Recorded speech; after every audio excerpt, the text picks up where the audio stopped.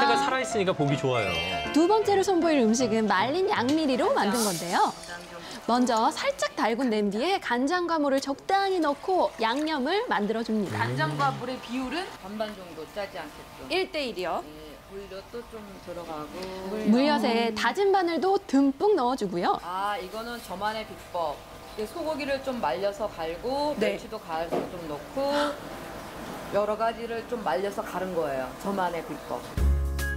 대감님표 비법 가루도 넣고 고춧가루에 말린 양미리를 더해 조리면 끝인데요. 양미리 속살에 양념이 촉촉하게 배도록 천천히 졸여주면 근데 완성입니다. 양미리가 너무 많이 들어간 거 아니에요? 빨간 자태가 군침 도는 양미리 조림. 만드는 법은 간단하지만 푸짐한 한상이 차려졌습니다. 대가의 손맛으로 초간단 양미리 요리를 뚝딱 완성했습니다. 박수. 자, 여러분. 이런 양미리 구이 보기 쉽지 않습니다. 보십시오.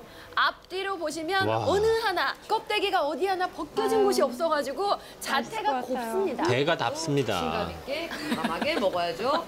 어두일미라고 아유 저는 그냥 통째로 먹겠습니다. 머리부터. 아, 어, 양미리는 칼슘과 단백질이 많아 뼈째로 먹으면 더욱 영양 만점입니다. 딱 아니, 먹어보니까 그래도 어떻게 저렇게. 돌린 거 아니죠, 지금? 닮은 맛이네.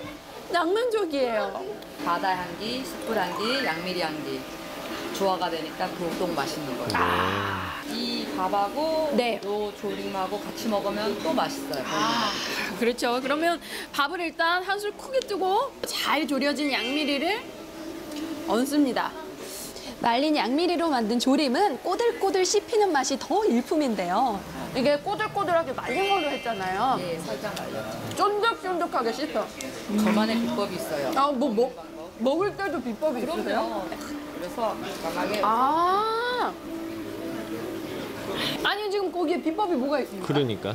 어, 두 개씩 올려서 아, 먹어야죠. 두 개. 맛있게. 두 개. 네. 밥보다 양미리가 더 많게. 아, 밥이 조연이군요. 제철에 나는 먹거리만큼 우리 몸에 좋은 것도 없다지요.